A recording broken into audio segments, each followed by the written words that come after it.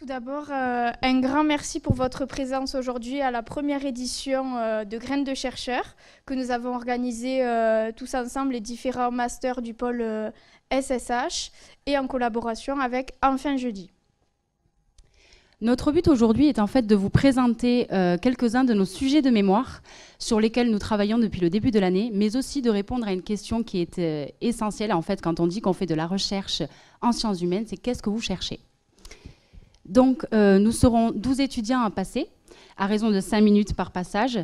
Euh, je crois qu'il y a un temps de prévu pour les questions, que ce soit après ou entre les présentations. Et euh, donc, c'est divisé en quatre groupes. Il y a le groupe littérature et images, le groupe civilisation, le groupe didactique et enfin un quatrième groupe qui est un petit peu à part. Ce sont des étudiants qui sont venus des quatre coins du monde en fait pour venir étudier à l'université de Pau et des Pays de la Dour et qui vont vous faire part de leur expérience. Et à la suite de ces présentations, nous vous proposerons une collation et euh, aussi, après, il y aura un temps forum où euh, à l'extérieur, vous verrez nos posters euh, affichés et vous pourrez nous poser des questions sur nos présentations, sur nos posters ou quelques, quelques questions que vous avez. Voilà. Maintenant, je laisse juste la parole à Sandrine qui va vous faire une présentation du laboratoire Alter. Donc, euh, organisateurs comme participants, on est euh, tous plus ou moins reliés à Alter, donc euh, notre laboratoire. Alter pour art, langue, transition et relations. Donc, c'est un laboratoire qui fonctionne avec trois équipes. Une équipe critique sur l'art et sur le discours des arts, une équipe avec poétique, histoire littéraire et linguistique, et une troisième équipe, langue, littérature et civilisation de l'arc atlantique. Donc euh, c'est euh, un peu compliqué tout ça pour dire que le laboratoire Alter, euh, quand vous y pensez, ne vous imaginez pas un énorme bâtiment vitré avec des chercheurs, des éprouvettes et du matériel de technologie de, pointe. Non, Alter c'est surtout une entité administrative qui permet aux chercheurs d'inscrire leurs travaux dans une structure reconnue. c'est un laboratoire effectivement assez reconnu. Il y a plus de 100 personnes qui travaillent dans ce labo, en comptant les doctorants. Euh, des partenariats euh, à l'international avec d'autres laboratoires, etc. Aujourd'hui, c'est Alter qui finance le goûter, donc euh, ben, on tient à les remercier. Hélène Laplace-Claverie, la directrice en particulier. On tient aussi à remercier Nadia Mécoire et Najma Kermel. C'est elles qui ont eu l'idée de cette journée et donc on espère que la pratique sera à la hauteur de ce qu'elles ont imaginé. on tient aussi à remercier Enfin Jeudi, puisque l'événement est en partenariat avec ce dispositif et surtout Benoît Lacoma qui a supporté notre parfois incompétence. On tient aussi à remercier Aurélie, euh, la secrétaire du master euh, études hispaniques, études anglophones, pour euh, la diffusion de mails, pour avoir réservé les salles, pour les renseignements toute la journée. Donc pour ça et tant d'autres choses, Aurélie, merci. Euh, on tient aussi à remercier euh, Madame Christelle Barbizan et Julien Rabot qui nous ont aidés euh, sur des aspects techniques. Ils sont documentalistes et endossent beaucoup d'autres casquettes, donc merci. Madame Émilie Guillard, Madame Etchart pour leur soutien dans cet événement. Patrick, notre bien-aimé papa de l'université, euh, il, travaille à la maintenance et il nous aide dans absolument tout ce qu'on fait. C'est lui qui a installé le forum ce matin avant même notre arrivée. Euh, Campus TV, Nathalie et Vanessa qui sont là aujourd'hui et qui filment euh, cet événement. Et enfin, et pas des moindres, Madame Laurence Roussillon-Constanti, vous avez mis vos compétences à notre disposition, vous nous avez fait confiance et pour ça, merci.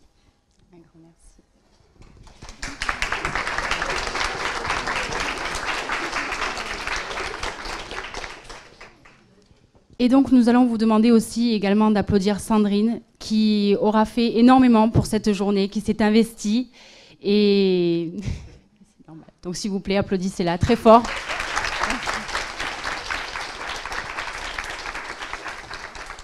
Nous allons donc commencer avec euh, le premier groupe qui est littérature et images et je laisse la place à Juliette.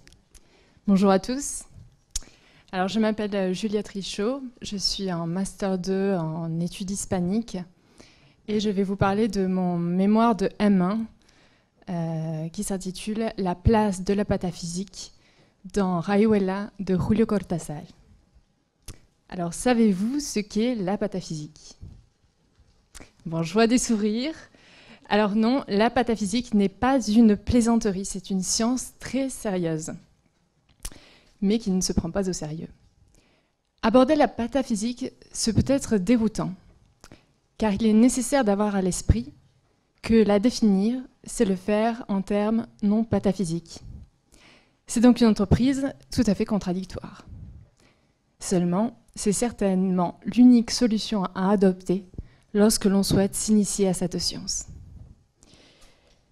Précisons déjà qu'à l'image de la philosophie, on peut considérer que la pataphysique a toujours existé et existera toujours. Pourtant, le terme pataphysique n'apparaît qu'en 1911 sous la plume d'Alfred Jarry, qui la théorisera dans sa publication Gestes et opinions du docteur Fostroll, pataphysicien. Voici la définition qu'il en donne. Attention, concentrez-vous. La pataphysique est la science des solutions imaginaires qui accorde symboliquement au linéament les propriétés des objets décrits par leur virtualité. Je suis d'accord, c'est un peu abscon. Je vous propose un exemple tiré de ce même ouvrage pour mieux vous éclairer. Il s'agit de la montre, que l'on dit ronde, pardon, alors que nous devrions la percevoir comme une série infinie d'ellipses. Euh, je vais reprendre l'analyse maintenant qu'en fait euh, l'encyclopédie universelle à l'entrée pataphysique. Je cite La réalité, quand nous la percevons, n'est que la représentation linéaire d'un de ces aspects, auquel notre imagination seule prête une totalité. Dans le cas de la montre ronde, l'imagination est assez pauvre. Nous pratiquons tous cette solution imaginaire élémentaire. Pourtant, nous sommes convaincus d'appréhender la réalité. En réalité, nous faisons de la pataphysique, sans le savoir. La solution imaginaire est devenue le sens commun. Elle relève du consentement universel.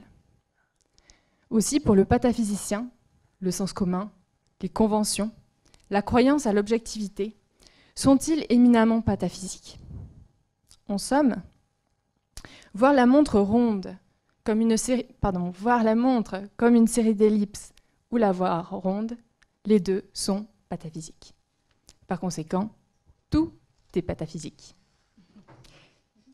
La différence entre ces deux perspectives réside dans la distinction entre la pataphysique inconsciente et la pataphysique consciente. La pataphysique inconsciente, c'est celle que nous faisons tous les jours. C'est voir la montre ronde, percevoir la solution imaginaire commune. En revanche, la pataphysique consciente, c'est percevoir la multitude des solutions imaginaires. C'est celle que pratique le pataphysicien, et quelques individus initiés à cette science. Si bien que le, pataphysicien a un privilège, celui de pouvoir profiter du théâtre pataphysique de son propre comportement. Remarquez que depuis le début de cette présentation, pour vous expliquer la pataphysique, il m'a fallu faire de la pataphysique inconsciente, c'est-à-dire recourir à cette solution imaginaire commune qu'est la démonstration scientifique. Ainsi, vous comprendrez que pour accéder à la pataphysique consciente, il faut préalablement pratiquer la pataphysique inconsciente, ne serait-ce que pour aborder sa version consciente, comme nous venons de le faire. Eh bien, dans le mémoire que j'ai rédigé l'an dernier, j'ai démontré que la pataphysique occupe une place cruciale chez le romancier argentin Julio Cortázar puisqu'elle constitue le fondement de sa théorie littéraire en régissant plusieurs paramètres. Par exemple, sa conception phénoménologique, son appréhension du langage et de l'irrationalité, ou bien ses engagements esthético-politiques. Et dans mes recherches plus précises, à propos de son roman le plus connu, donc qui s'intitule Marel en français ou Rayuela pour les hispanistes, j'ai remarqué que Cortázar pousse son entreprise littéraire au-delà de la métaphysique c'est-à-dire au-delà de la détermination rationnelle. Car pour les pataphysiciens, la pataphysique dépasse la métaphysique, tout comme la métaphysique dépasse la physique. Le but de mon mémoire a donc été de démontrer que le voyage proposé par ce roman, entre détermination et indétermination, est le fruit d'une pensée hautement pataphysique. Et je remercie M. Scavino pour son accompagnement. Merci.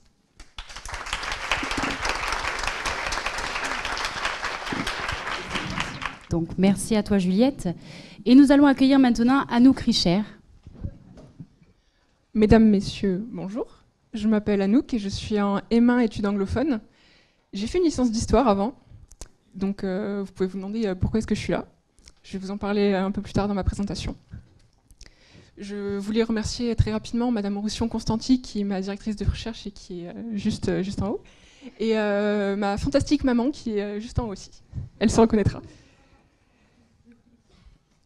Tout d'abord, dans ma première partie, je vais vous dire pourquoi j'ai choisi mon sujet, qui est les les adaptations cinématographiques de 1984 de George Orwell. Alors au début euh, de cette année, du coup vers septembre, on nous a demandé de choisir un sujet de recherche et je voulais travailler sur la dystopie au cinéma et sur les écrans en général. Madame Boussion m'a dit c'est un peu large, essayez de, de, raccourcir tout ça. Donc je suis partie du principe que pour étudier la dystopie, on va partir du début. Donc j'ai choisi le roman le plus connu, 1984. Peut-être vous le connaissez, peut-être pas. Donc je vais très rapidement en faire un résumé. 1984, ça se passe dans un monde hum, fictionnel, dans le futur, avec le personnage de Winston qui euh, travaille pour... Euh, excusez-moi.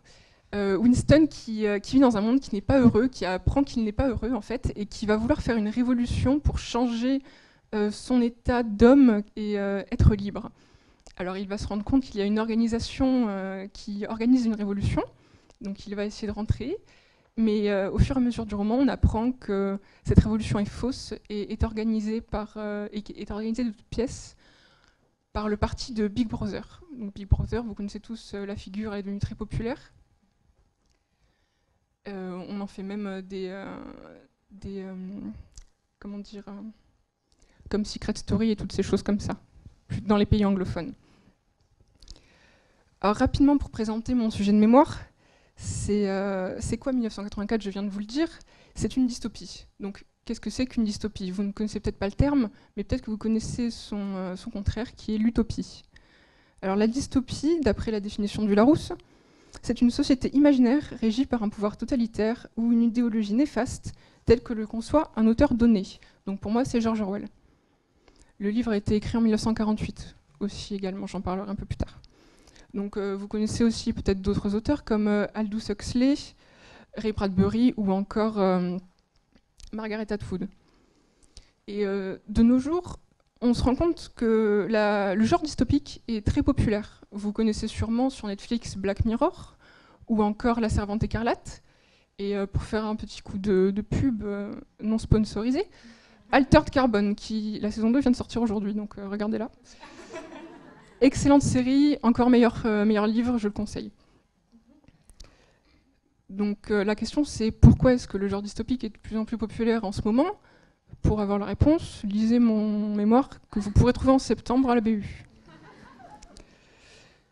Hum, enfin, sur un petit problème méthodologique, nous sommes à l'université de Pau et des Piles-Ladour, ville pas très grande, université encore moins.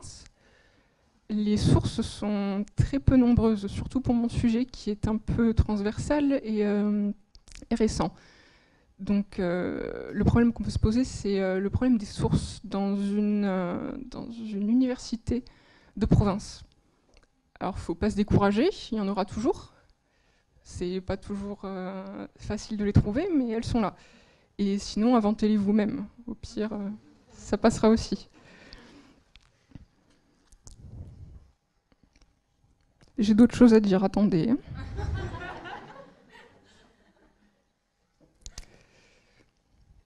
Ah oui, mon sujet a évolué avec les sources que j'ai lues. C'est-à-dire qu'au début, j'en avais pas beaucoup, mais euh, je trouvais à chaque fois un petit chapitre ou un petit paragraphe qui pouvait être intéressant. C'est-à-dire, euh, au début, je voulais parler que du cinéma.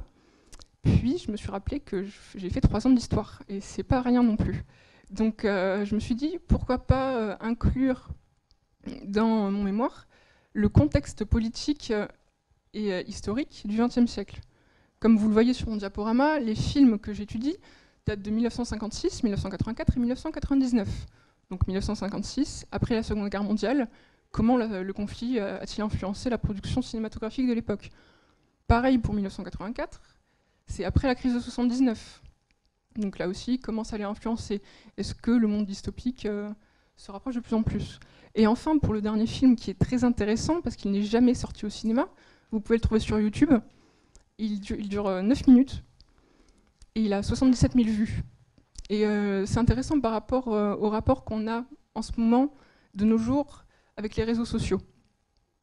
Voilà. c'est tout pour moi. Et merci beaucoup de m'avoir écouté. si vous voulez me poser des questions, ne le faites pas maintenant, faites-le après, pendant le forum. Merci beaucoup.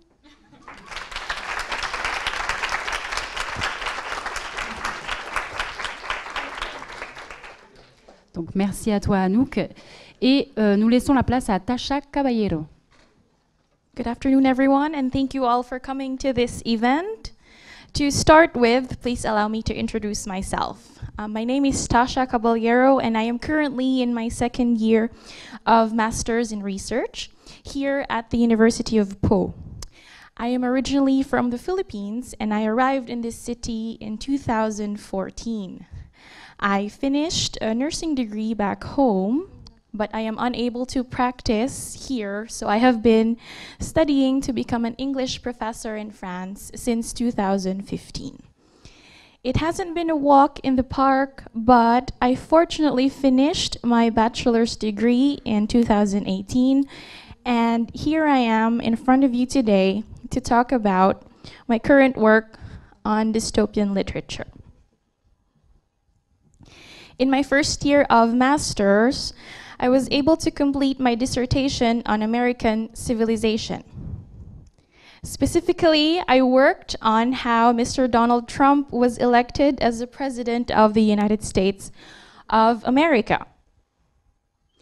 In the summer of 2019, I stumbled upon a TV web series on an adaptation of Margaret Atwood's The Handmaid's Tale. Later that year, I read a magazine article comparing Donald Trump's America to the dystopian situation in Gilead. And this is what brought me to my research today. I have decided to work on dystopian literature this year because of the rise of its popularity through film adaptations. I chose The Handmaid's Tale because I saw in the series how religion has been used to justify some of the violent acts committed towards women. For me, religion has always served as an instrument of comfort and relief. It was never an excuse to hurt other people, no matter what.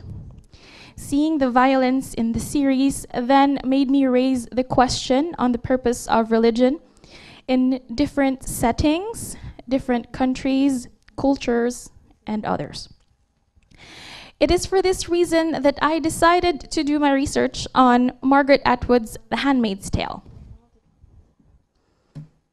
After my initial research in the first semester, I did not manage to find enough materials to support my dissertation. And so I shifted my focus to a more general perspective and decided to choose survival as my theme. I chose two books from Margaret Atwood, The Handmaid's Tale, and its sequel, The Testaments, and one from Aldous Huxley, which is called Brave New World, because they are more or less portraying women and human reproduction as an important part of the society. In developing my outline and pre-project, I have realized that my research will also discuss sociological and anthropological aspects of our society. And I believe this is the interesting part about my degree. The choice to choose a topic that is interesting and relevant to today's time is an essential part in completing our, our work, and I am very grateful to have this choice. I am convinced that we do not talk about dystopian literature enough, and it should not be the case. While reading Huxley's essays in Brave New World Revisited, he mentioned that the events in his novel, Brave New World, were turning into reality sooner than he had expected. And I find this highly alarming. Similarly, with Atwood's The Handmaid's Tale, someone has already said that we are living in the novel's reality. And if we don't do anything soon, it might be too late to save humanity. By examining the different aspects of survival present in the novel, perhaps it will give us a higher probability of surviving our own dystopian lives. Thank you very much for listening, and I hope you enjoy the rest of the day.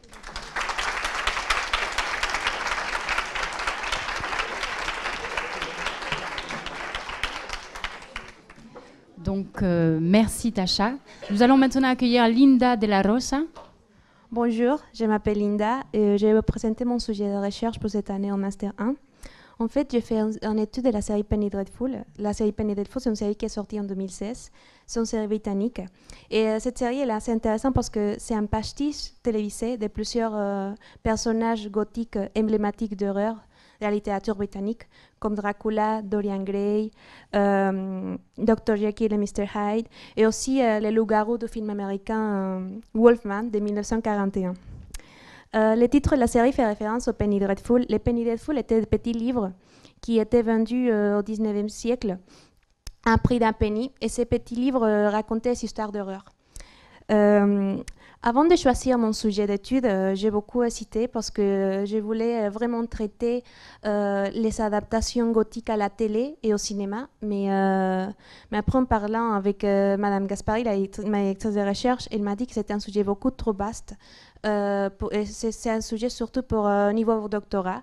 Alors, elle m'a conseillé de vraiment me focaliser sur, la série télévisée et sur, sur, un, sur, sur le thème de la rébellion et l'émancipation. Et le thème de la rébellion et l'émancipation est un thème qui est assez récurrent et qui est traité de différentes façons dans la série. Euh, euh, par exemple, on voit l'émancipation des femmes, le féminisme, l'émancipation des, euh, des, homosexuels, les regards des gens qui sont malades. En fait, c'est les, c'est les regards des gens qui, dans la société, on peut considérer comme des monstres, comme les gens qui sont différents. Euh, attendez. Euh, en fait, la série adapte de- donc des romans de- du 19e siècle pour faire une dénonce des sujets qui restent d'actualité. Euh, voilà, comme, la discrimination euh, et de ce qu'on juge comme monstrueux inacceptable dans notre société. Euh, en fait, la série aussi on montre un côté humain où les apparences sont trompeuses et ne définissent pas les sujets. Cette série revendique les rôles des, des, étrangers handicapés, etc. et de ce que la société appelle queer les, les de ce qui ne rentre pas dans la norme, de tout ce qui nous fait peur et ce qu'on juge, car c'est différent. En fait, le producteur de la série, John Logan, euh, en étant homosexuel, il a décidé de faire euh, cette série pour euh, se revendiquer lui-même. Parce que quand il était jeune, il se sentait jugé par les autres. Et il sentait que son homosexualité était un peu jugée comme monstrueuse. En fait, euh, il a décidé de, se dire, OK, je vais assumer la personne que je suis et je vais, euh, faire ça. euh, avec ça, je vais créer de l'art. Et il a commencé à, s'intéresser au sujet des monstres et à ces côtés monstrueux qui est un peu en nous, parce que personne n'est est parfaite, on a tous nos défauts et tout. et, voilà, et l'intégrer en nous, et n'a pas avoir peur d'être différent aussi. Dans la série, on les voit, euh, par exemple, comme le personnage de Caliban, le fils de euh, Frankenstein. Lui, c'est un être un peu monstrueux, mais il décide de transformer sa monstruosité euh, en poésie, par exemple. Frankenstein, il décide de transformer sa dépression et sa douleur émotionnelle en science. Il crée la vie, voilà. Et les personnes ils transforment ce côté un peu ombre. Euh, et l'émancipation arrive quand on est conscient de ce qui nous fait différent des autres et on l'intègre en nous. C'est une monstruosité qui devient partie de notre identité. Euh, cette série parle d'accepter ce qui nous fait différent pour devenir plus complet. Et mon travail est de montrer comme le sujet d'émancipation est traité de différentes façons et formes. Et euh, on apprend que la perfection n'est pas dans la beauté absolue, mais dans la complétude de ce qu'on rejette et de qui nous renvoie à notre propre monstruosité et identité. Euh, un des meilleurs obstacles que j'ai trouvé euh, pour ce projet, euh, c'était la, la réalisation du plan. Parce que c'est assez dur parfois de lier euh, une idée et euh, comment est-ce qu'on va faire, comment on va présenter cette idée de façon générale? Moi, j'avais tendance à, lier un personnage avec un sujet. Et euh, la directrice de recherche, elle m'a encore corrigé. Elle m'a dit, euh, vous, avez, vous avez fait un espèce de catalogue. Ah oui, elle est là. Coucou. Et elle m'a dit, essayez de faire plutôt, voilà, parler plus général. Et, les personnages, surtout, ça va être des exemples pour illustrer vos idées. Et, euh, voilà, c'est le meilleur euh, obstacle. Mais heureusement, on est tous bien encadrés par les directeurs de recherche. Alors, si vous choisissez master, vous serez bien, bien, bien encadrés.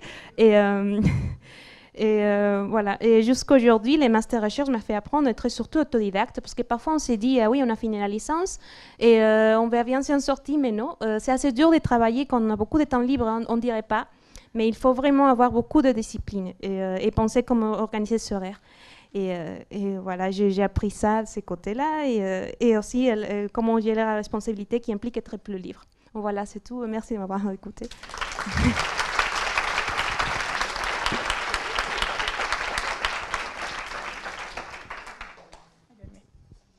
Merci beaucoup Linda. Maintenant, on va changer de thématique et on va passer sur la thématique de la civilisation qu'on va débuter par une présentation de Thomas. So, uh, good afternoon, everyone. Uh, my name is Tom McGinty. I'm a student in Masters 1, uh, research specializing in civilization. My memoir is on uh, the era of Margaret Thatcher uh, under the auspices of Madame Echart. And, but first of all, uh, you probably realize I'm not the typical profile of a master's student. So maybe I should explain what brought me here uh, and to talk about my experience and challenges as a mature student here at the University of Po. Uh, like everyone else, I went to university when I was 18. And like many people, I found the bright lights of the big city more interesting than my school books. So I lasted about 18 months before I realized I had to leave before they threw me out. So I ended up looking for a job in Scotland, where I grew up. But in Scotland, being a university dropout is not really a plus point in the job market. And also, it was a time of economic recession. So I decided to go to London to try my luck there. And fortunately, fortunately, at the time, London was booming economically, and it was very easy to find a job. So I stayed there for six years, and then I decided I really wanted to travel before I got too settled. So I went to Paris and did my TEFL certificate to allow me to teach English as I travelled. And I ended up in Greece and Turkey and Tunisia and Portugal, and finally uh, back here, uh, over here in Po. And what I found in Po compared to other countries where I taught, there isn't an awful lot of interaction with your colleagues. Uh, everyone comes into work, does their job, goes back home. So it was not very easy to discuss methodologies, materials, everyone stuck to their own uh, routine. So it's very easy to get into a comfortable rut and come in, do your work, go home without really thinking about what you were doing. So that changed when I, I had the chance to become involved in a European Erasmus uh, project, which involved uh, six countries in the European Union working together to prepare te- teaching manuals uh, in tourism and in automotive industry. And I found it a really, really interesting experience to, uh, which allowed me to share ideas and to learn new methodologies in teaching from, from my colleagues. And at the time, they, they discussed the possibility of making sure that all the participants in the project were university graduates. So that gave me the kick up the backside I needed to go back and finish my studies, which I'd often thought about but often postponed. So I enrolled on the, the license uh, course, and I was interviewed by Madame Murray, who I think is now retired, uh, by telephone in French, which was very traumatic for me. Uh, but fortunately, I, I managed to get through, and I joined the uh, license in the third year. And I was a little bit apprehensive about the fact that I was an Anglophone coming to study English in a French university and being much older than other, uh, all the other students. But I needn't have worried because all the teachers and all the other students were very kind, very accepting, and very supportive. And after the original, after the initial, oh my God, what's this uh, reaction from the other students, uh, they really did their best to integrate me into the uh, into the group, and treated me like uh, everyone else. Uh, although I did have to ask one or two people not to call me uh, le monsieur or or sir, but Tom Tom was perfectly fine. Um, so my big challenge in studying in France is obviously the language. Uh, I understand French. I don't speak very well, hence I'm speaking in English. Uh, but I find that although I can follow the lectures, uh, when I go home I realize I haven't really retained very much. So I have to read and reread uh, my notes. And um, also texts in French I have to read again and again to so it eventually sinks in. But I'm sure it's the same for the Francophone students in the English uh, texts and the English uh, lectures. So that's one challenge. Another challenge is time. It's the big challenge because when you arrive at my age, uh, it's very difficult to juggle um, a work life, a social life, a family life, and study all together. And uh, I'm the king of procrastination. I put things off uh, all the time. So this is my, my, my major challenge in, uh, in my studies. So let's see. Uh, one other challenge for me was um, in my job, I teach a language as a means of communication uh, to enable people to travel the world and be comfortable speaking English. Uh, and coming here, where languages are taught much more academically. Uh, it was it's quite a bit of a shock. Uh, I remember a two-hour lesson about the difference between which and that by Madame Copy. It was it was a real eye-opener to go into the language in such uh, fine detail. But this is all part of the academic uh, fun of going to to university. Um, but one thing that has helped me is doing uh, modules in different languages here. I've done German, Portuguese, Spanish, and it allows me to see the learning experience from the point of view of a student. Uh, so it helps me in my job as a teacher to, um, to understand the difficulties, to understand the challenges that my students face. So it's helped me professionally uh, as well. So let's see. Um, so I got through the license year, and then for my own pleasure, because I really enjoyed the license year, and I have to thank Madame Roussillon and Madame uh, for that, if they're here. And uh, obviously in the Masters, Madame Roussillon and Madame Etchart, who's my mentor in the Master year. This year's been a bit more challenging because of the demands of time. Um, both myself and my wife come from large Irish families, so there's always a birth, a death, or a marriage at home that we have to go and uh, take part in. So again, it eats into the time available.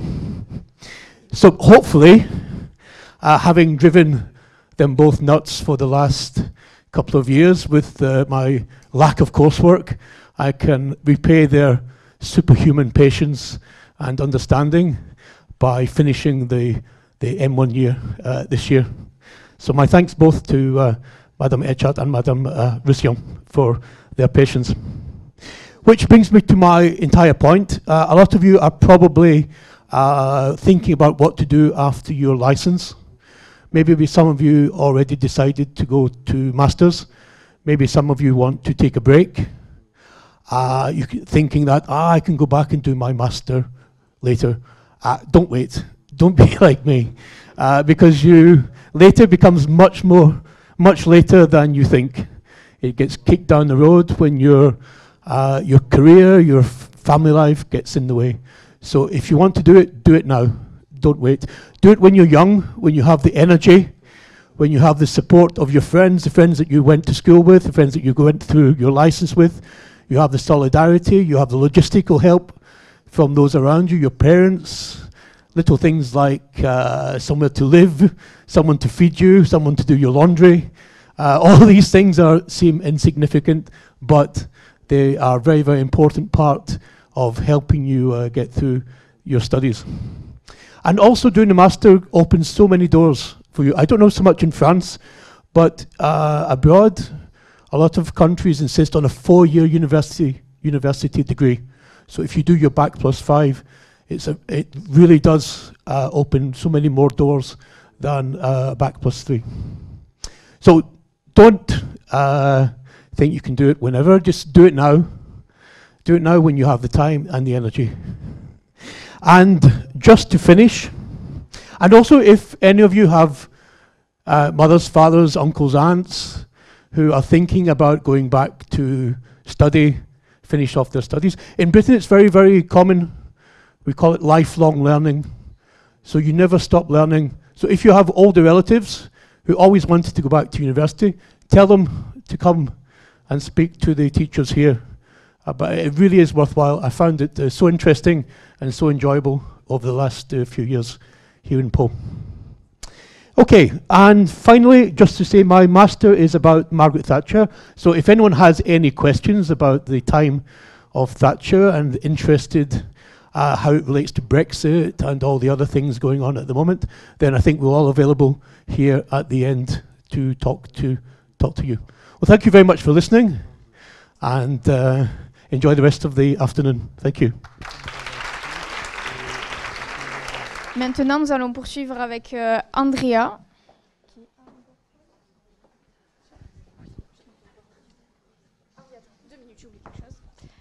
Juste, on a un petit peu oublié, mais pas tellement.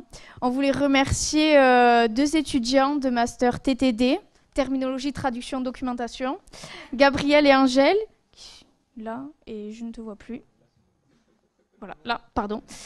Euh, pour leur disponibilité et d'avoir eu la gentillesse de traduire les prestations euh, en anglais. Merci beaucoup. Et maintenant, Andrea. Euh, bonjour à tous.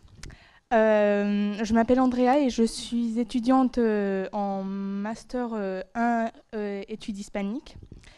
Et le sujet de mon mémoire porte sur la question de, l'exil en Argentine. D'abord, pourquoi l'exil?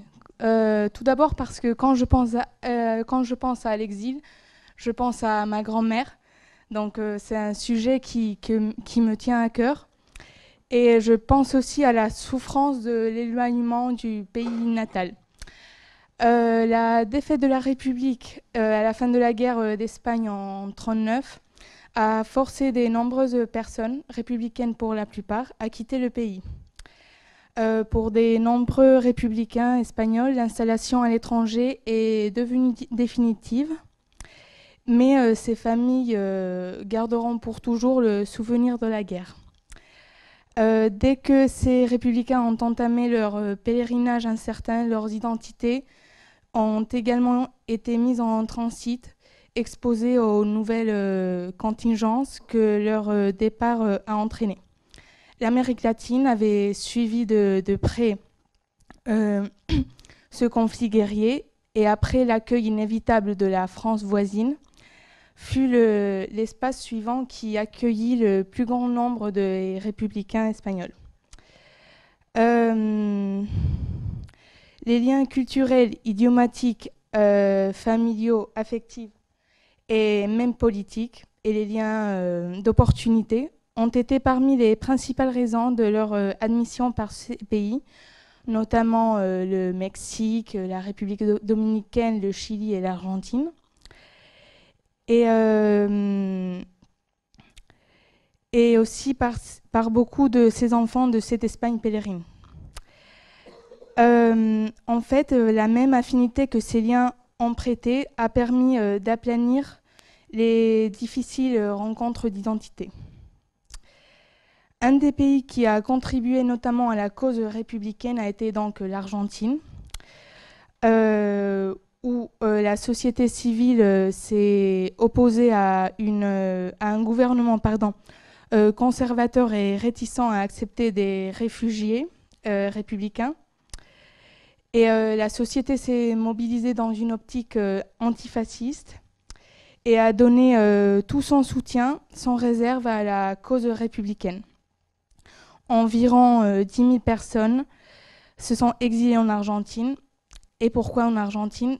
Ben, Déjà parce qu'il il existait une grande communauté euh, espagnole avant, mais aussi parce que euh, il y, avait beaucoup d'activités culturelles et politiques menées par les Espagnols et aussi grâce à la création des maisons d'édition, ce qui a contribué à la publication de nombreux ouvrages espagnols, notamment des ouvrages interdits en Espagne à la même époque. Euh, l'exil désigne le hors de chez soi, le déplacement vers euh, un ailleurs euh, non défini, la migration passagère. Il s'agit d'une forme de résistance face à l'oppression idéologique et il permet la reconstruction des identités. La souffrance de l'éloignement du pays natal devient ainsi une source d'inspiration et de création littéraire et artistique. Euh, les milieux intellectuels argentins de l'époque étaient fortement politisés et très concernés par les événements européens, et ce d'autant plus que de nombreux républicains espagnols sont réfugiés en Argentine. Euh, je vais, dans, dans, mon mémoire, je vais euh, me centrer sur deux personnages, notamment le philosophe Ortega y Gasset, et qui avait donc séjourné en Argentine en 1916 et en 1928. Mais son cas est un peu particulier parce qu'il ne défendait pas les idées républicaines. Et euh, la deuxième personne sur euh, laquelle je vais euh, me focaliser dans mon mémoire est Maria Teresa León. elle est célèbre parce elle a, été une des figures majeures de la génération du 27 et elle était l'épouse de Rafael Alberti. Et euh, comme euh, cela avait été le cas pour euh, tant d'exilés, la, nécessité intime de l'écriture est expliquée par le désir de raconter des faits dramatiques du point de vue personnel et aussi de leur trouver un sens. L'autobiographie devient alors un témoignage et une thérapie. La femme exilée éprouve un problème double de visibilité pour des raisons de genre et politique. Maria Teresa León donc décrit euh, dans son, autobiographie Memoria de la Melancolia l'expérience de la guerre, les difficultés de l'exil et l'oppression des femmes. Euh, il, faut, dire que son texte est l'un des textes les plus emblématiques euh, de l'expérience des femmes exilées et il constitue la mémoire individuelle et collective du peuple espagnol et présente un discours caractérisé par le dynamisme et la force expressive de la voix intime, vivante et testimoniale d'une survivante de la catastrophe en Espagne. Et euh, avant de finir, je voudrais euh, remercier mon directeur de, mémoire, M. Scavino. Et c'est tout. voilà.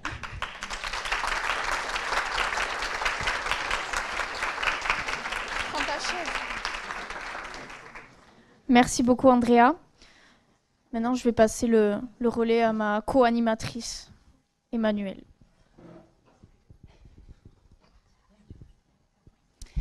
Alors, je suis en première année de master études hispaniques et en fait, il se trouve que depuis mon plus jeune âge, je suis passionnée par l'Espagne et l'Amérique latine. Et euh, lorsque l'an dernier, on m'a demandé de choisir entre le master MEF ou le master études hispaniques, je voulais absolument partir en master MEF. Et ce qui m'a fait changer d'avis a été euh, un cours au cours du second semestre où nous avons fait l'étude d'un document très connu intitulé La brevísima relación de la destrucción de las Indias, donc la brévissime relation de la destruction des Indes, qui a été écrit par le personnage qui est la figure dominante de ma mémoire, qui est Bartolomé de las Casas. Pour vous, pour vous résumer pardon, rapidement euh, l'œuvre, en fait, euh, c'est, ce sont des écrits qui dénoncent les faits commis contre les Indiens par les colons, notamment le fait qu'ils étaient réduits en esclavage, qu'ils mouraient en masse, qu'ils n'étaient pas évangélisés. Certains d'entre eux étaient brûlés vifs, d'autres étaient mangés par des chiens, et on n'hésitait pas à tuer les femmes, les enfants. Euh, dans ses écrits, en fait, il s'adresse à Charles Quint, qui sera le futur roi euh, d'Espagne à ce moment-là. Euh, pour tout d'abord, pour vous préciser une chose, en fait, l'évangélisation était l'une des justifications de la présence espagnole en Amérique au XVIe siècle, et Bartolomé de las Casas allait défendre le droit des Indiens en s'appuyant sur la parole du Christ et sur l'égalité de tous les hommes selon la foi catholique. Il a dit d'ailleurs euh, Todos los hombres son uno, ce qui veut dire tous les hommes ne font qu'un, sous-entendu tous les hommes ne font qu'un en Christ. Donc, euh, dans mon mémoire, intitulé La colonisation espagnole en Amérique au XVIe siècle, la défense des Indiens au prisme de la vision lascasienne entre espoir et déception, j'ai choisi d'étudier les premiers projets de Bartolomé de las Casas entre 1516 et 1520 en suivant, l'évolution de sa vie, car il n'a pas toujours été dominicain, il a été propriétaire d'une encomienda pendant presque dix ans, ce qui est incroyable. Hum, c'est un système selon lequel en fait la couronne confiait euh, un groupe d'Indiens à un colon et en récompense de ses services, celui-ci percevait en or ou en travail le tribut dû à la couronne par les Indiens qui, en échange, euh, donc ce colon, devait les protéger et les convertir au christianisme. Donc Las Casas, qui était alors un comendero sur euh, l'île espagnole, euh, la Hispaniola, assista au sermon d'Antonio de Montesinos, qui était un religieux dominicain, en 1511, et il fit un sermon en fait qui dénonçait l'attitude des Espagnols et les horaires commises sur les Indiens. Donc euh, Bartolomé de las Casas eut un choc en entendant cela. Il décida de renoncer à son encomienda et de devenir euh, dominicain. Il rentra en Espagne, se fit moine et euh, décida d'étudier et de dénoncer en fait les exactions commises en Amérique. Il insistait notamment sur le fait donc, que les Indiens mouraient en masse et qu'ils n'étaient pas évangélisés. Les écrits de Las Casas sont marqués par un style particulier. Il use une rhétorique éloquente il n'hésite pas à recourir à l'exagération pour impressionner euh, son lecteur, notamment en ce qui concerne le nombre de morts, bien qu'elles furent nombreuses. Euh, mon but, euh, en fait, dans ce mémoire, est d'étudier la naissance de Las Casas en tant que défenseur des Indiens, en travaillant sur ses premiers projets après le choc provoqué par Montesinos en 1511. Et donc, pour cela, je travaille sur deux documents. Le premier, intitulé Le Memorial de Remedios para las Indias, qui date de 1516, et le second, la pétition al Gran Canciller acerca de la capitulation de Tierra Firme, qui date de 1519, qui tous deux mettent en place en fait une société euh, utopiste, euh, comme par exemple euh, le fait de vouloir créer une communauté qui serait réservée aux, colons et où il n'y aurait, pardon, aucun Indien et où ils devraient se partager tout l'or. Deux majordomes seraient nommés et ils devraient par exemple tout simplement surveiller que tout se passe bien lors de ce partage ce qui paraissait impensable à l'époque. Il voulait également euh, supprimer les encomiendas, ou euh, fait un petit peu plus polémique, euh, il voulait remplacer en fait les Indiens par des esclaves africains, ce qui est aujourd'hui très discutable, bien évidemment. Il l'aura renié par la suite, enfin renié non, peut-être pas quand même, mais il défendra par la suite toutes les causes, enfin toutes les formes d'esclavage. Euh, donc bien que l'œuvre de Lascaux soit très connue, ces projets ont été bien moins travaillés et euh, pourtant ils permettent de comprendre, de comprendre pardon, la genèse de l'action de cet homme. Euh, donc voilà en fait, c'est tout pour mon mémoire. Pour les difficultés que j'ai pu rencontrer, notamment, c'est la profusion de sources. Il y en a énormément. Et ce que j'ai pu constater, en fait, c'est qu'il il y, a certaines divergences en fait, entre chacune des sources. Par exemple, il n'y a pas si longtemps que ça, j'ai lu deux livres où euh, dans l'un, on me dit qu'il est né en 1474 et dans le second, on me dit qu'il est né en 1484. Et donc, j'ai dû faire euh, quelques petites recherches pour euh, savoir qui détenait la bonne version, on va dire, de, de ceci. La deuxième difficulté que j'ai pu rencontrer, en fait, c'est la langue espagnole du XVIe siècle, parce qu'il y a beaucoup de mots qui, se ressemblent, qui ressemblent à l'espagnol moderne et qui, s'ils ne sont pas bien étudiés, en fait, ils peuvent engendrer un contresens. Mais dans tout ça, en fait, je suis assez contente parce que le fait d'être en master études hispaniques m'a quand même apporté euh, un grand plus, c'est-à-dire l'organisation, savoir euh, hiérarchiser les écrits, savoir euh, lire, on va dire ça comme ça, c'est-à-dire prendre, prendre des notes sur un livre et, les organiser tout simplement. Et un grand merci à Madame Kermel, pardon, excusez-moi. merci beaucoup.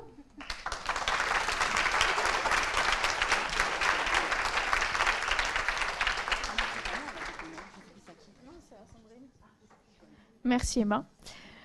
Eh bien, pour la dernière présentation euh, de cette thématique, euh, je laisse la place à Sandrine.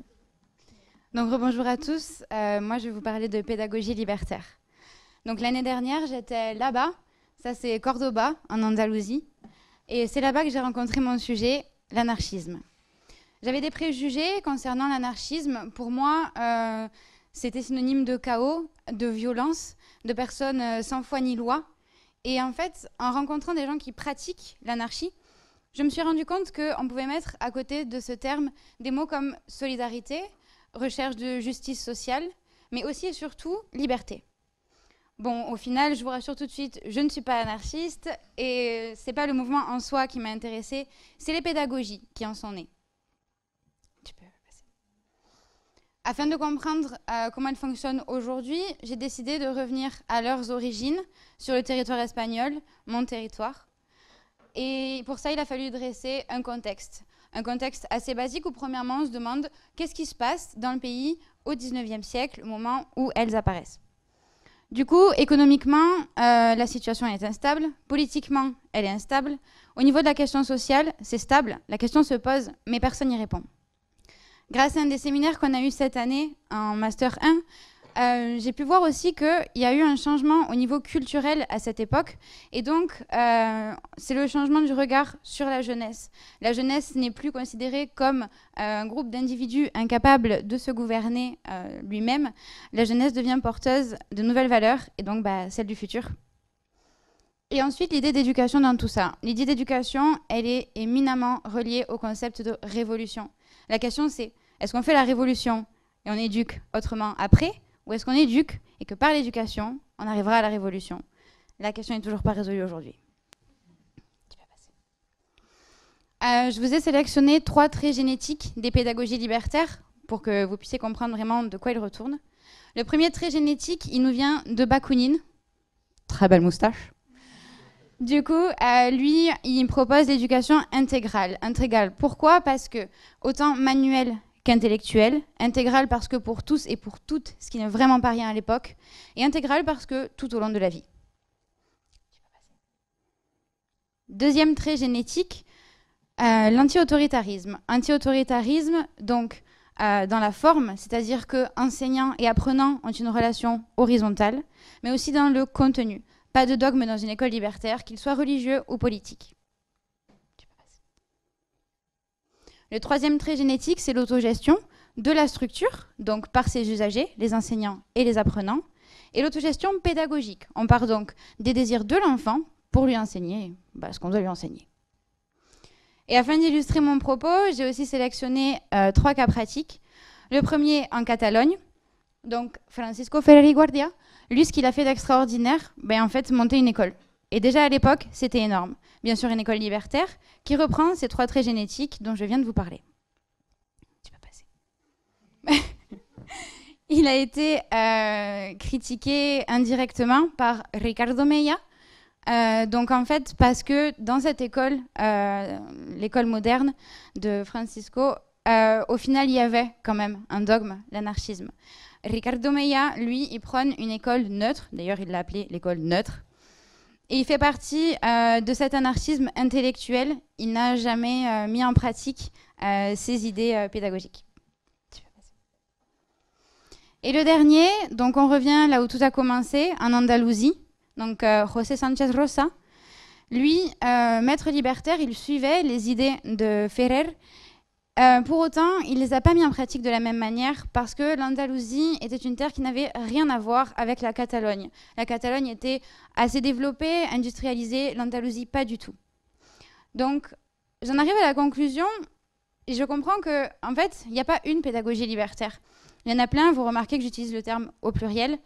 Et si, dans une même époque, elles n'étaient pas mises en pratique de la même manière, je me demande qu'est-ce qu'il en est aujourd'hui comment ça fonctionne les écoles libertaires aujourd'hui? C'est quoi une pédagogie libertaire maintenant? Et pour ça, je vous donne rendez-vous l'année prochaine. J'ai encore un an et je vais essayer de répondre à cette question.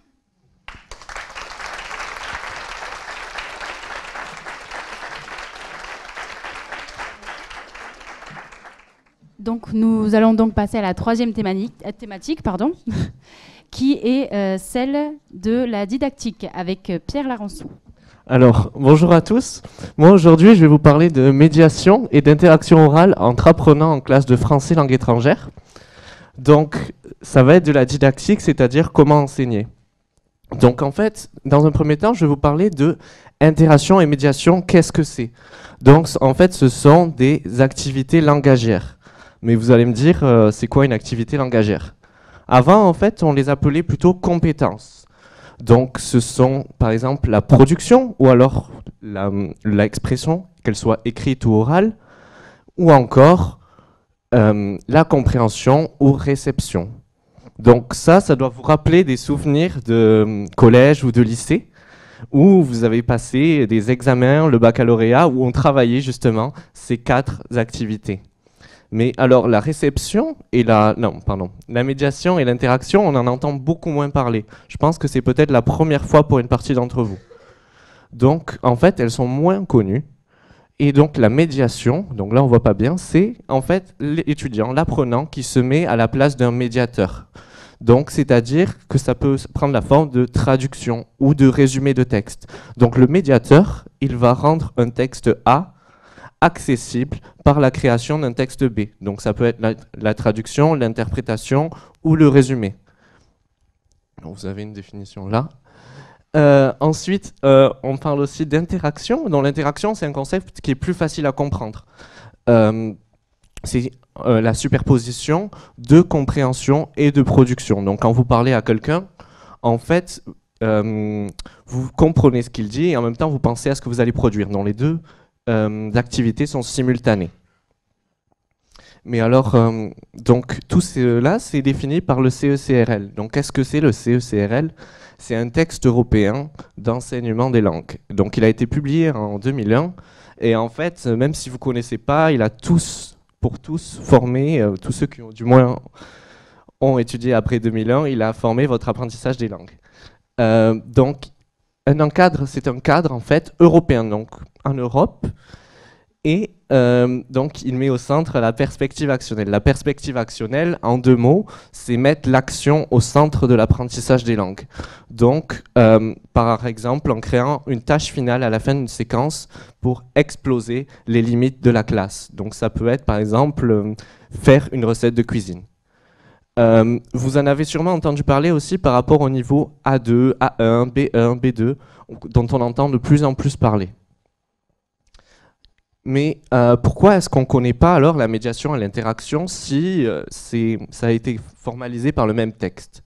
En fait, c'est quand on remarque que dans ce texte qui fait environ 150 pages, il y a 12 pages qui sont considérées pour la production et la réception, alors qu'il n'y en a que deux pour la médiation et l'interaction.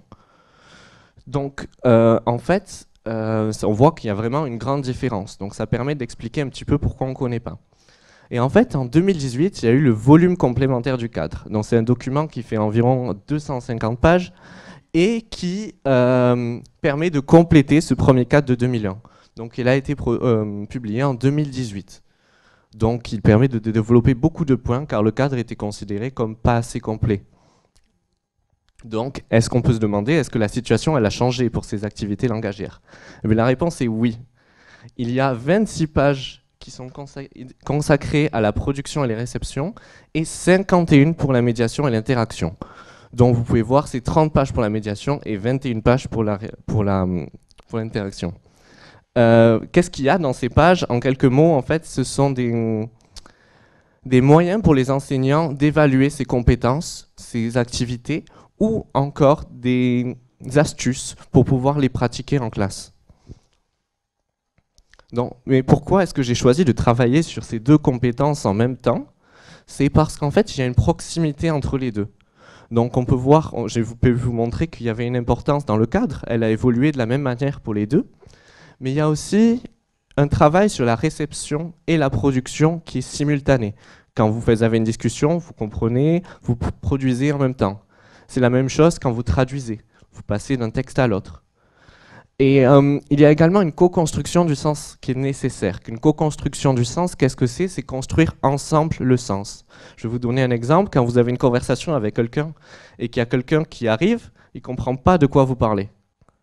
Mais et c'est pour ça qu'il est nécessaire de l'intégrer dans cette construction du sens. De plus, elles sont souvent, euh, en réalité, sur le terrain, utilisées en même temps pour, pour rendre le procédé plus attractif pour les apprenants. Alors, euh, tout cela, c'est toute la partie théorique, mais il faut voir le côté pratique pour l'enseignement. Donc, pour cela, en fait, je vais m'appuyer sur des expériences personnelles. Le premier, ça va être euh, mon année de césure que j'ai passée l'année dernière à l'université de Warwick, en Angleterre, où euh, j'ai pu enseigner le français et où inconsciemment j'utilisais déjà cela. Donc, ça va me permettre d'étayer mon propos. Et cette année, j'ai également réalisé deux stages euh, un premier en centre de langue à l'UPPA pour l'apprentissage du français, l'UEFE, où j'ai pu observer des, apprenants et l'enseignement du français.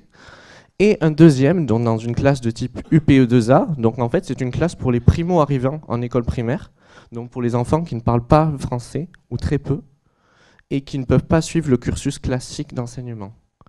Donc voilà mon projet. Et si vous avez des questions, je vous invite à, vous, à me voir à la sortie. Voilà. Merci.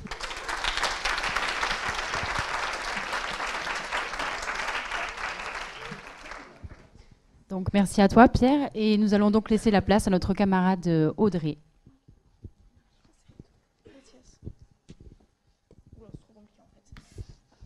Donc bonjour, je m'appelle Audrey, je suis en première année de master euh, études hispaniques et euh, moi, comparé à Sandrine, euh, j'ai pas trouvé mon sujet euh, en Andalousie. Moi, c'est le master que j'ai trouvé ici dans un couloir. Voilà, chacun son truc.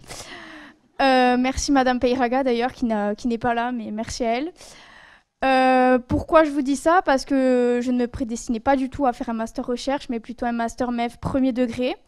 Mais je n'ai pas été acceptée et je suis très bien ici Non. Donc, évidemment, vous vous en doutez au vu de mon sujet, je vais parler du bilinguisme français-espagnol en milieu scolaire.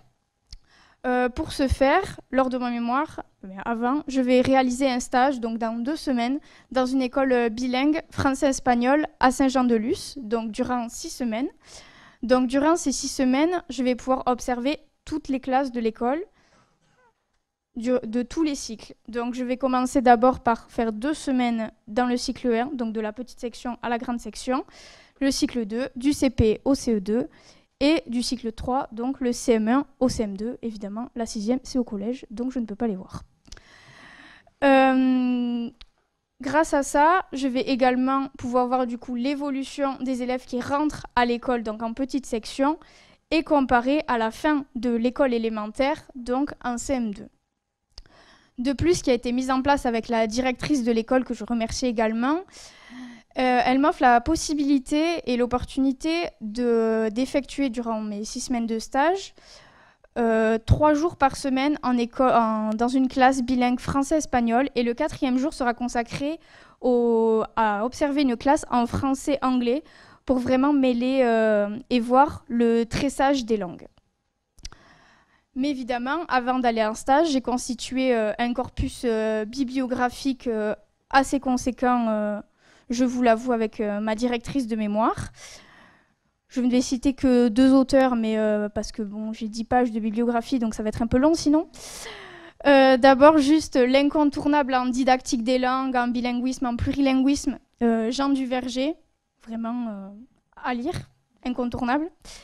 Et un autre, peut-être un peu moins connu, mais qui est de la région, Monsieur Pierre Escudé, qui me tient à cœur parce que j'ai eu la chance de le rencontrer lors euh, d'un séminaire à Pau il y a quelques mois. Et je suis toujours en contact avec lui car il travaille euh, à l'INSPE, donc l'école euh, pour être professeur des écoles sur Toulouse. Voilà. Et également, après ce corpus bibliographique, il faut bien que je prépare mon stage, quand même. donc c'est l'étape que je suis en train d'élaborer et de terminer, parce que c'est quand même bientôt mon stage. Euh, donc, pour cela, j'ai fait des grilles d'observation. Je vous ai mis juste quelques éléments ici, mais euh, parce que sinon, les grilles, elles sont vraiment très longues. Euh, je vais pouvoir voir donc les langues qu'utilisent les élèves, mais également les professeurs quand ils s'adressent à la classe ou quand ils se parlent entre eux. Donc l'échange, l'interaction. Dans la cour de récréation également. Je vais également m'appuyer surtout, et je l'ai déjà un petit peu vu en faisant la visite de l'école, à l'affichage qu'il peut y avoir en bilingue ou non dans la classe et dans l'école. Dans l'école, je sais que c'est déjà le cas. Mais euh, la classe, du coup, je n'ai pas eu le temps de faire euh, vraiment attention. Également les activités d'apprentissage que sont proposées euh, par les professeurs et le matériel didactique utilisé, comme par exemple, je sais qu'en école bilingue français basque, il y a un code couleur qui est établi, donc une langue par couleur. Il me semble que le français c'est en vert et le rouge c'est le basque par exemple. Et ça peut être intéressant de voir si c'est également le cas dans une école bilingue euh, français-espagnol. Également, tout au long du stage, je vais tenir un journal de bord euh, que je remplirai quotidiennement sur euh, tout ce qui s'est passé durant ma journée ou mes ressentis. Et je pourrai, si j'ai le droit, le présenter lors, de ma, lors de ma soutenance. Et puis, ben, voilà, c'est tout.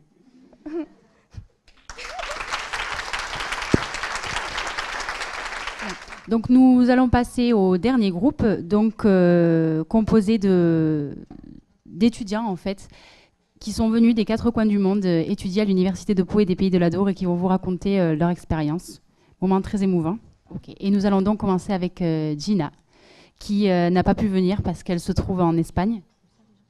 Donc elle fait le master études hispaniques, elle est assistante de langue en même temps à Cordoba. Bonjour à toutes et à tous. Donc aujourd'hui, moi, je ne viens pas vous présenter mon mémoire, mais je viens vous, parler, vous présenter euh, mon statut un petit peu particulier cette année, qui est que je suis assistante de langue à l'étranger et que je suis à la fois le master recherche études hispaniques de l'UPPA. Euh, donc je suis moi à Cordoue en Andalousie. Euh, je travaille dans deux collèges-lycées et en fait mon rôle dans mon travail c'est en fait de travailler avec le professeur avec les professeurs parce que c'est deux collèges-lycées bilingues, donc il y a beaucoup de professeurs de champs différents qui donnent euh, les cours en français. Donc en fait c'est la préparation de cours, ensuite donner le cours, euh, quelquefois toute seule, et euh, aussi la correction de copies. Donc en fait ça demande une certaine autonomie, mm, bien évidemment, comme, comme pour n'importe quel professeur. c'est aussi très chronophage parce qu'il faut penser à l'avance en fait à ce qu'on va faire, etc. Euh, ensuite, euh, ça m'a vraiment appris le travail d'équipe parce que je travaille, donc comme je l'ai dit, avec des professeurs très différents les uns des autres, avec des personnalités différentes. Évidemment, ça c'est la relation humaine entre les gens. Donc euh, eux-mêmes entre eux ne sont souvent pas d'accord et avec moi aussi, nous avons souvent une vision différente. ça peut parfois être difficile, mais en fait je pense que c'est vraiment un avantage parce que ça m'a vraiment appris à travailler en équipe. Euh, ensuite, ça m'a vraiment permis de me rendre compte de ce que c'est qu'être professeur. Donc c'est vraiment un bon euh, premier aperçu, je pense qu'il devrait être indispensable pour qui veut être professeur. Parce que donc on se rend compte en fait de ce que c'est qu'être professeur, donc les obligations, la charge de travail, la charge mentale, surtout euh, des professeurs femmes qui ont des enfants, donc voilà, une certaine solidarité aussi se crée entre nous. mais voilà, en fait, quand je donne les cours avec le professeur, a contrario des cours que je donne toute seule aussi, parce que j'ai des classes aussi toute seule, euh, je, ne, me charge pas du tout de l'autorité et des problèmes administratifs. Donc c'est vraiment un bon aperçu de ce que c'est le travail de professeur avec, on va dire, quand même les bons côtés. Ensuite, donc le master, donc tout ce que ça implique, tout ce que mes camarades vous auront déjà dit. Donc euh, évidemment les cours que je recopie minutieusement grâce à des audios et euh, le mémoire.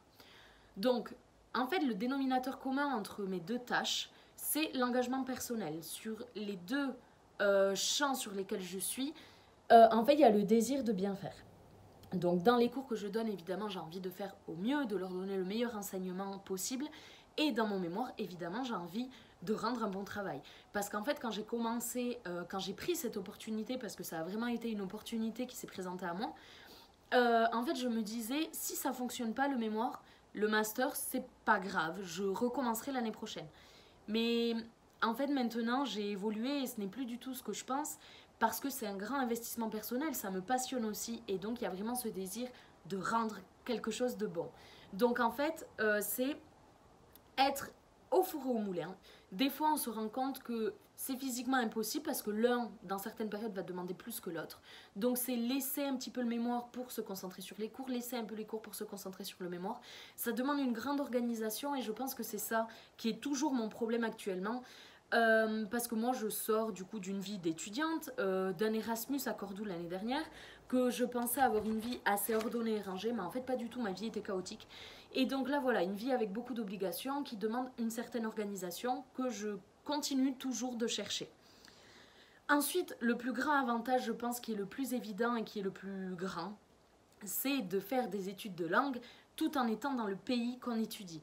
Donc moi, mes études, elles me passionnent vraiment et cette chance de pouvoir déjà, donc évidemment, améliorer ma langue, pouvoir vivre dans le pays qui me plaît, parce que c'était, voilà, moi je voulais rester ici, euh, parce que j'adore tout simplement vivre ici et que je ne sais toujours pas si je veux être professeur de français ici ou professeur d'espagnol là-bas, on verra ça plus tard. Et euh, donc voilà, donc c'est une chance inouïe d'être sur le terrain aussi pour mon mémoire, parce que donc moi, c'est mon, sujet de mémoire, c'est un sujet vraiment d'actualité, l'écoféminisme en Espagne, et ça me, ça me permet d'être sur le terrain, aller à des organisations, aller à des conférences, etc. Tout ce que ça inclut, voir vraiment comment ça se développe sur le terrain. En plus de ça, j'ai une partie pratique dans mon travail, dans mon mémoire. Euh, je fais l'analyse de l'œuvre d'une artiste de Pozo Blanco, qui est un petit village de la province de Cordoue, donc une artiste écoféministe que je n'aurais jamais connue si j'étais restée en France.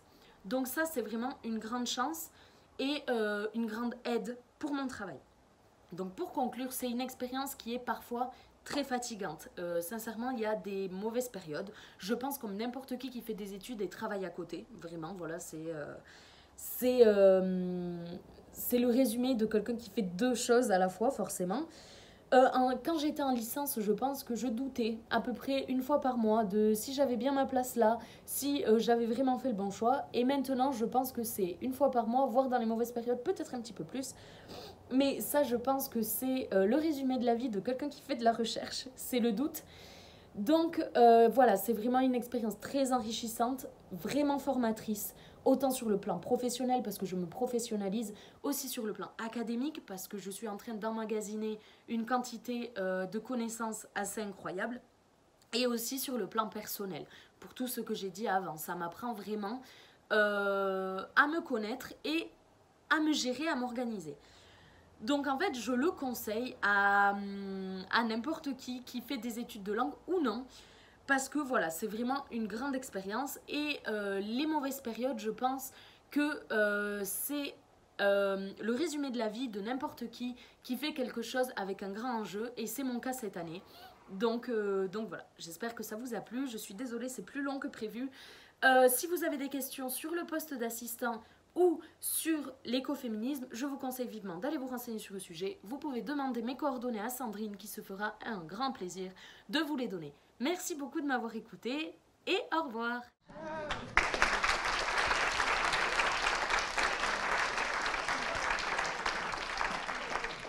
Alors, bonjour à toutes et à tous et bienvenue à la première édition de Graines de chercheurs organisée par les étudiants du Master Recherche qui sont actuellement ma deuxième famille. Du coup, je pense qu'on peut les applaudir parce que pour me supporter, c'est pas facile. Hein. Euh, alors, euh, la journée d'études a été organisée en collaboration avec le laboratoire Alter. Donc, je m'appelle Baya Sahraoui, j'ai 21 ans et je suis étudiante en master recherche parcours anglophone.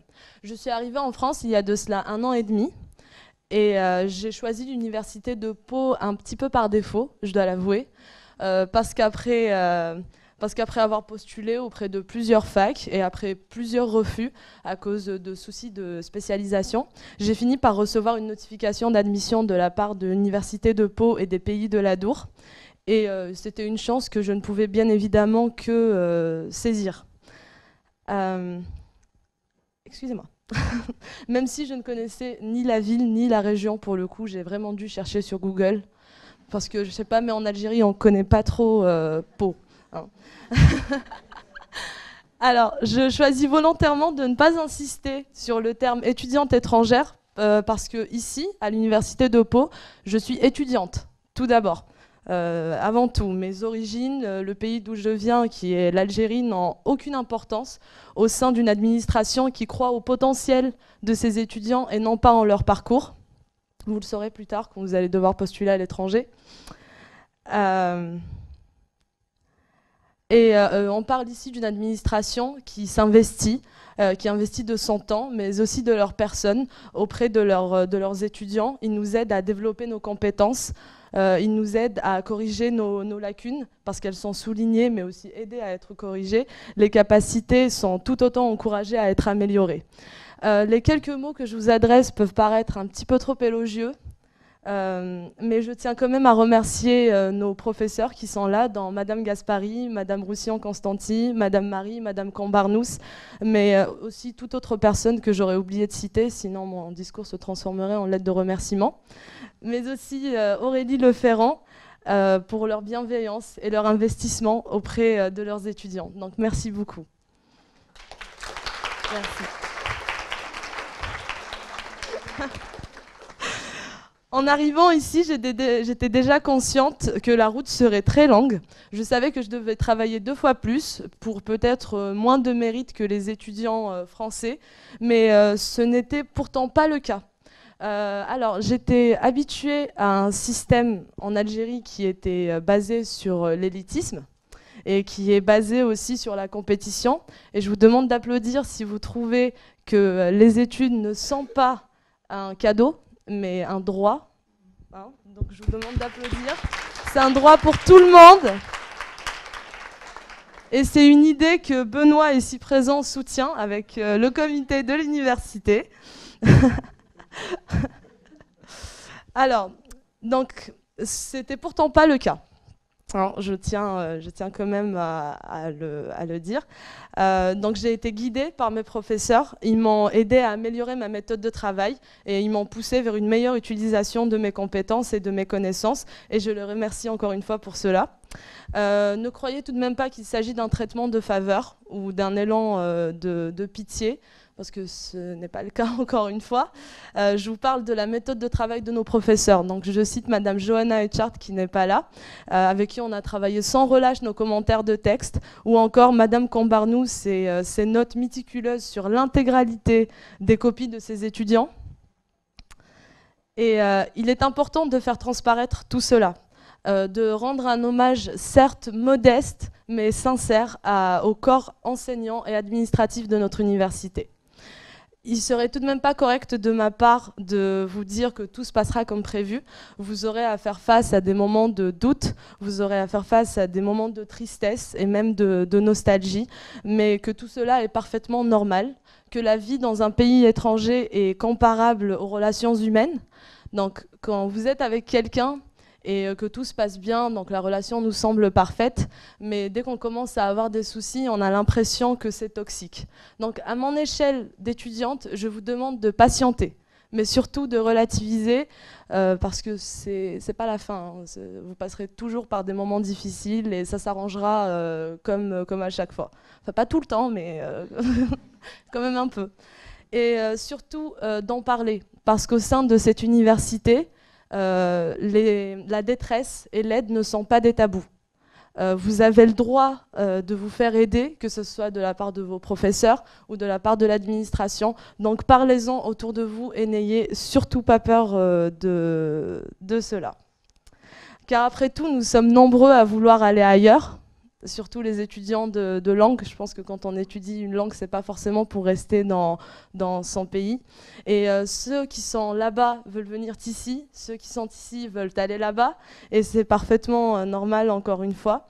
Et la France représente pour nous, étudiants africains, asiatiques, américains ou même euh, européens, une chance de faire mieux que ce que nos pays avaient à nous offrir. on offre... pardon que ce que nos pays avaient à nous offrir, nous représentant l'espoir d'un avenir meilleur. Nous lui offrant aussi un élan culturel, une ouverture d'esprit, une ouverture sur le monde extérieur, nous bâtissant ensemble un avenir meilleur, fait de plus de tolérance, mais surtout une France de couleur qui donne aux jeunes comme nous la capacité de faire mieux pour nous et pour les autres. Merci beaucoup.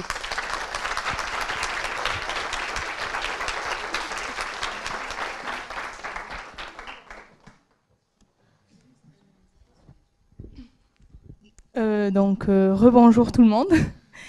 Euh, donc, je m'appelle Andrea Vituro de Lavo et je suis une étudiante espagnole. Donc, quant à moi, je venais à peine de commencer ma dernière année de lycée quand j'ai envisagé pour la première fois l'idée de venir en France pour faire mes études supérieures. Mes origines françaises, mon goût pour l'exotique, si je puis dire, ainsi qu'un désir de liberté m'ont aidé à confirmer mon choix. Quelques mois plus tard, tout a commencé. Euh, j'ai découvert l'université de Pau grâce à la journée des portes ouvertes fin janvier 2016. Euh, Et euh, ce fut la première fois que j'ai mis les pieds à Pau. Ça a demandé de l'organisation et de la rigueur, mais j'ai fini par tout remplir et envoyer toutes mes demandes à temps. Les procédures et démarches ont été stressantes et complexes, je ne vais pas vous mentir. Et euh, rien n'a jamais été facile, mais avec euh, beaucoup de patience, j'ai réussi à m'inscrire à l'université de Pau. après avoir préparé mes valises, après avoir dit au revoir à tout le monde, j'ai entamé la route vers l'aventure. L'adaptation et, l'intégration. Désolée.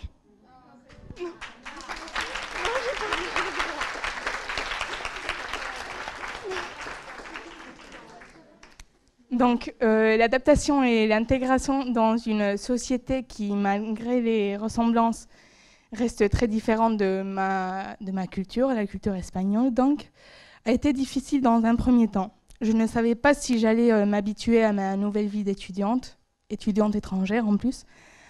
Euh, j'avais peur de me sentir rejetée par mes camarades, mais j'avais peur aussi de la barrière de la langue. Néanmoins, la chaleur des étudiants euh, de l'université de Pau et la chaleur du personnel de l'université ainsi que des habitants de Pau a beaucoup facilité l'affaire. J'ai trouvé à l'université de Pau un programme qui correspondait à ce que je voulais euh, étudier. Les professeurs sont accessibles et à l'écoute des étudiants et euh, ils font en sorte de, de nous aider. L'avantage de l'université de Pau est qu'il s'agit d'une petite université donc euh, on se connaît tous et à tout moment on se sent euh, accueilli, euh, on se sent guidé. J'ai particulièrement apprécié le style d'enseignement. les classes ont en général un effectif réduit. Et nous, nous sommes amenés à donner notre point de vue sur les sujets abordés. L'accent est mis sur le dialogue et l'échange. Et les professeurs poussent à la réflexion ce qui permet d'apprendre énormément. Les difficultés rencontrées m'ont fait euh, grandir. J'ai appris euh, comment faire face euh, aux, problèmes, comment surmonter les, entraves et relever les défis. J'ai appris à être beaucoup plus indépendante et à me mettre à agir et à avoir moins peur. J'ai également beaucoup gagné en ouverture d'esprit, en indépendance et en et adaptabilité et liberté aussi des qualités qui nous servent tout au long de notre vie, que ce soit dans les domaines euh, professionnels ou personnels. Euh, tout recommencer, à zéro m'a permis de me concentrer sur moi-même et de me redonner confiance, puisque avant de, venir à Pau, je ne connaissais personne ici. Euh, mais le temps est passé très vite. Et après quelques mois, après les connaissances et les sorties, je me sentais différente. J'avais des bons amis, je, n'avais plus peur de parler en français. Et tout avait changé. Je ne me suis plus sentie seule. Je sentais que je me sentais tellement à l'aise ici que à ce moment-là, c'était comme euh, j'étais comme chez moi. Comme on dit, euh, rien n'est ni tout noir ni tout blanc. Il y a eu des moments de solitude, de nostalgie, de, de tristesse, le mal du pays et l'envie de rentrer. J'ai déjà eu l'idée de tout abandonner, d'arrêter et d'essayer de trouver mieux chez moi. Mais à ce moment-là, je regarde en arrière et euh, je prends conscience du grand pas que j'ai franchi quand j'avais 18 ans. Et, euh, et, je me dis que ce que j'ai accompli ici vaut vraiment la peine.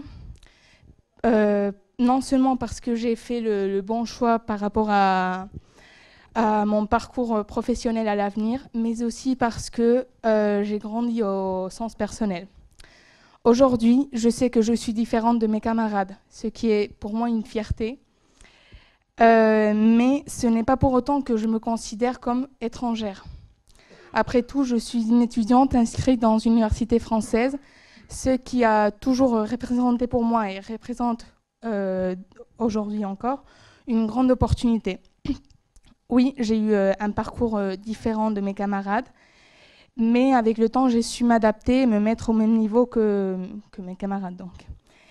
Et euh, pour finir, je tiens à remercier tous les professeurs que j'ai eus tout au long de, de, ma licence et maintenant en master, ainsi que le personnel administratif, Madame Azema et Madame Leferrand.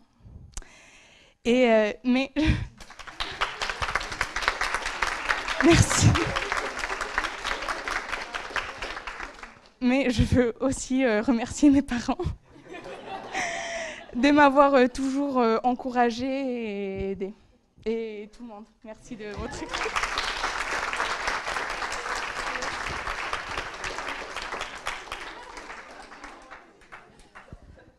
Euh, voilà, je, suis touchée par les histoires de, mes camarades de classe. Euh, en fait, je, voilà, je, me suis déjà euh, introduit là tout à l'heure. Euh, voilà, je vais raconter mon histoire. Euh, c'est une histoire qui a commencé il y a trois ans que je suis arrivée en France pour la première fois. Faire mes études en France avait été toujours mon rêve depuis mes 16 ans, âge où j'ai commencé à faire mes études au lycée franco-mexicain. Je ne pouvais pas contenir ma joie quand j'étais acceptée à l'université de Nîmes pour faire mes études de biologie.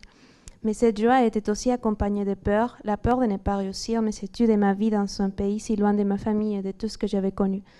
C'était un rêve qui me faisait aussi douter de mes capacités, car honnêtement, je ne me croyais pas capable de réussir toute seule. Et euh, il avait aussi un professeur au lycée qui me jugeait trop timide pour partir à l'étranger. Euh, mais j'avais tellement entendu pour venir que je ne pouvais pas perdre cette opportunité. Euh, ma famille avait aussi peur. Ils ne sont jamais posés à pied en France et ils ne connaissaient pas la langue française. Ils n'avaient pas peur de me laisser partir toute seule. Pas ils avaient peur de me laisser partir toute seule de l'autre côté du monde, dans un autre continent, si loin de l'Amérique et euh, si loin de Mexico. Alors, euh, chers amis, euh, la plupart du temps, on a peur de faire face à l'inconnu, mais n'écoutez pas ces complexes et surtout ne vous laissez pas paralyser. Partir seul pour un défi personnel, il faut être courageux et je vous encourage à le faire au moins une fois dans votre vie. Le jour où j'ai pris l'avion, j'ai pleuré énormément. Je voulais plus partir. Mais mon grand-père m'a regardé dans les yeux en me disant Es tu sueño, c'est valiente y cúmplelo. C'est ton rêve, sois courageux, et fais-le. Euh, mais je lui dis que j'avais peur d'échouer. Et il m'a dit Si tu réussis pas, tu peux toujours retourner euh, chez ta famille. Après 11 heures de vol, je suis arrivée en France en laissant ma langue maternelle, mes coutumes, mon ancienne vie derrière. La langue était toujours un défi. On ne finit jamais de l'apprendre. Il y a toujours un accent qui dévoile ses origines. Un accent qui porte aussi ton identité. Euh, j'ai aussi commencé à m'adapter à l'université dans une autre langue, mais ma détermination m'a toujours accompagnée. J'avais un compromis personnel, ma famille et mon futur. J'ai changé la licence de biologie par une licence de lettres euh, et littérature anglaise parce que j'adore l'anglais. et ces années de licence m'ont énormément fait évoluer en tant que personne. Euh, j'ai appris à me battre pour ce que je veux être, à me construire tel qu'on le fait tous les jours euh, quand on veut devenir quelqu'un de meilleur. Pendant ces années, je suis pas retournée voir ma famille, euh, mais les amis que je fais ici sont devenus ma deuxième famille en France. J'ai compris que la famille est toujours avec nous, malgré la distance et les océans qui nous séparent. J'ai appris à aimer mes amis et à prendre la confiance en soi. Quand on est seul, on doit, se forger un caractère. Euh, être forte, mais, mais doux. Euh, doux pour s'ouvrir aux autres, mais on est aussi vulnérable et plus fort que jamais. Euh, j'ai appris à perfectionner et à rédiger des dissertations et des commentaires de textes, mais aussi à ne pas brûler les riz. J'ai appris à faire de l'analyse stylistique, mais aussi à mieux connaître mes faiblesses et mes vertus. J'ai aussi appris à, aimer la France, sa diversité culturelle, ses paysages, sa gentillesse. Je suis reconnaissante du pays qui m'a donné mon éducation supérieure et la richesse de la langue française. Quand on habite dans notre pays, on finit par adopter ses habitudes et il y a quelque chose en soi qui change. Parfois, vous allez entendre des commentaires clichés de vos pays, mais euh, moi, personnellement, je les prends avec humeur, car c'est les résultats euh, quand on ne voyage pas. Étudier à l'étranger vous permet donc de, casse, de, casser tous vos clichés, préconceptions et de comprendre l'humanité au-delà de la peur des frontières. Euh, je vous invite donc vraiment à partir dans notre pays, à, connaître au-delà de tout ce que vous connaissez. Et vous finirez, par vous découvrir, par vous admirer. Il y, aura toujours des moments difficiles, on veut tout arrêter. Mais, euh, chers amis, la vie est plein fait d'obstacles aussi à franchir tout le temps. Et euh, tous ces moments deviendront, un jour des souvenirs, des moments qui, qui, vont faire partie de votre cœur. Euh, je vous invite donc à jamais douter de vos capacités à croire en vue. Il y a toujours des moments de peur, mais c'est qu'une partie du chemin. j'ai travaillé avec mes camarades et j'ai compris qu'on suit tous un chemin en commun, on est tous humains, on suit tous nos batailles et on est tous plus, plus courageux de ce que l'on pense. Étrangers ou pas, on, on, on a tous nos défis. Et euh, j'habitais peut-être loin de ma famille, mais j'avais construit une maison en France et ma famille euh, m'avait toujours accompagnée.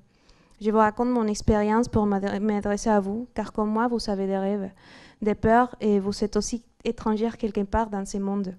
Si vous voulez partir, n'hésitez jamais à le faire car comme moi, comme Linda, cette jeune femme qui est ici, euh, j'ai commencé avec un rêve et maintenant je suis ici en train de, vous parler en master parfois je ne le crois pas, mais oui, ça, ça arrive. Alors allez-y n'oubliez jamais ce que vous voulez. La vie est courte pour euh, écouter nos, peurs. Et euh, je conclue en vous encourageant à ne pas avoir peur quand, il s'agit de choisir son éducation, son master, votre prochaine destination. Réfléchissez bien à vos attentes, mais surtout osez. Je remercie cette faculté qui m'a accueilli aussi. Je suis contente. Mes camarades de classe qui sont super, vraiment, euh, ça m'a fait plaisir de, savoir qu'on est dans une classe comme ça. Parce que parfois, ça fait peur quand l'étranger, comment est-ce que les gens vont être. Mais moi, personnellement, je, trouve que tout le monde est super. c'est important aussi quand on part. et je remercie cette faculté qui m'a accueilli. Et voilà. Et. Euh, car en autant qu'étudiant, on sait comment c'est dur de bien réussir, mais je pense que ça vaut chaque, euh, chaque moment. Et bonjour, bonne journée à tous.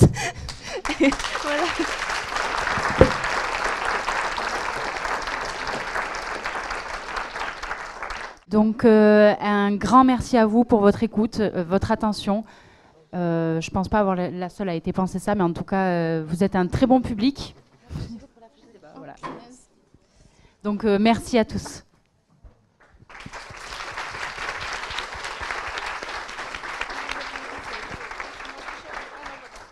Comme vous l'avez compris, cette journée est, le résultat d'un travail euh, depuis le mois d'octobre. Et d'abord, en tant que responsable du master études anglophones, euh, je tiens vraiment à remercier euh, principalement les étudiants pour leur volonté. Vous avez vu que, quelle que soit l'issue de leur année, ils ont gagné un pari de faire cette première, de cette première édition, je pense, un, réel succès. Et je vous demande de les applaudir d'abord.